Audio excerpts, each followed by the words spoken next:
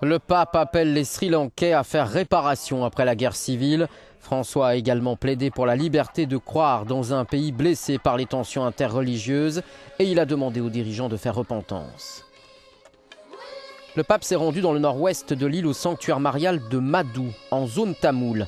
Ce lieu symbolique qui fut sur la ligne de front est désormais un lieu de paix où se rendent, outre les catholiques, les musulmans, les bouddhistes et les hindouistes.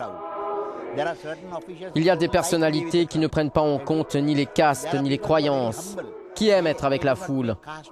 Il est l'une de ces personnalités. Le pape argentin a également canonisé Joseph Baz, faisant de ce missionnaire vénéré pour son aide aux pauvres de toutes les communautés, le premier saint dans l'histoire du Sri Lanka.